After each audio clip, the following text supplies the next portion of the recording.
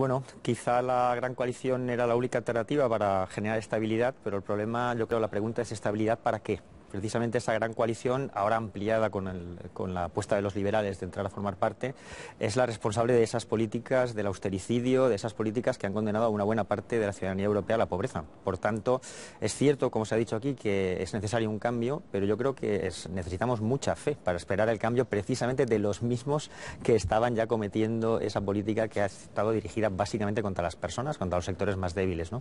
Entonces, eh, inevitablemente la gran coalición genera decepción entre aquellos que esperábamos que el cambio empezara aquí, ¿no? empezara con otras formas, con otras alianzas. Por tanto, obviamente concederemos eh, el beneficio de la duda, pero resulta muy complicado creer que los mismos que nos metieron en el saco son los que nos van a sacar.